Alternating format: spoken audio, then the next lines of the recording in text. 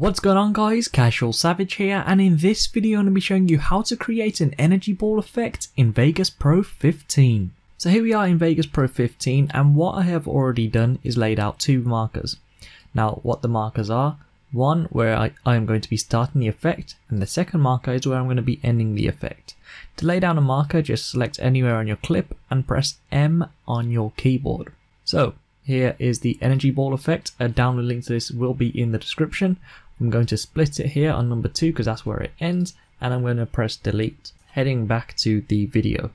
We need to get rid of this green screen. So first of all head over to video effects and from video effects come up to chroma key.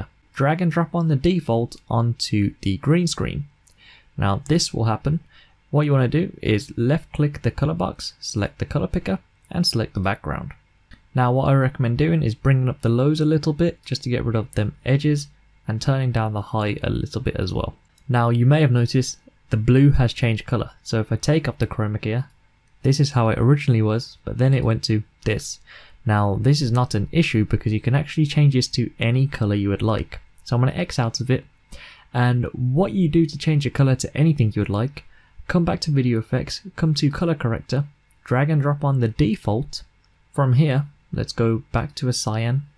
Let's go back to a cyan as you can see, we created it back just like that. So you can be creative, you can pick any color you would like from here.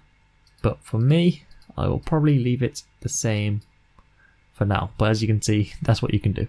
So the next thing we need to do is actually position it and keyframe it. So you can use the pattern crop, however I prefer the motion track or track motion. Now you may not see it here and if that's the case come to more, come to edit visible button set come to where it says track motion, make sure it is checked and select OK. From there you should be able to see it right here. So have sync cursor highlighted, have lock aspect ratio and scale about center highlighted and rotation is not necessary for this. So I'm going to uncheck it so that circle is now gone. First thing I'm going to size it down by coming to a corner and simply dragging in and I'm going to position this and size it just above my hand, like here. Now the next thing, um, with sync cursor checked, we don't have to worry about going across here. So since my box for track motion's up here, I'm going to click on my timeline and just simply come across to every time I move my hand, I'm simply going to move this away. So you can see right here my hand's going up, so I'm going to drag this up. So as you can see, this is all you're all going to be doing.